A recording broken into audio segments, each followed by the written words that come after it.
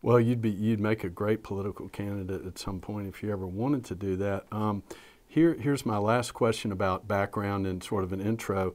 And I, you know, we really do our best at Praxis Circle to talk about worldviews that are different than ours uh, with love and objectivity. We are about certain things, though, and one of them is truth.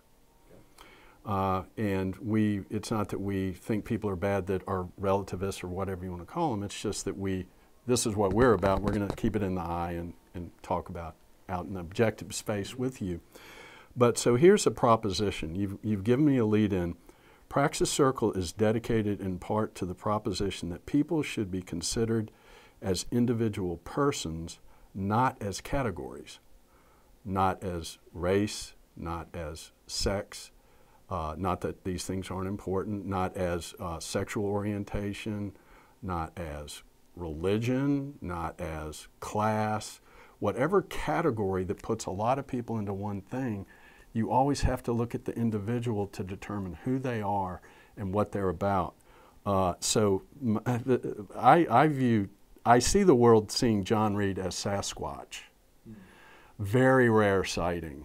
Okay, a gay conservative. I like, I like to say unicorn, but I'll a, go with Sasquatch. a, unicorn. Well, unicorn seems more majestic to me. Well, it's okay. more, but but Sasquatch likes beer. He'll, right. He will yeah, drink a beer. True.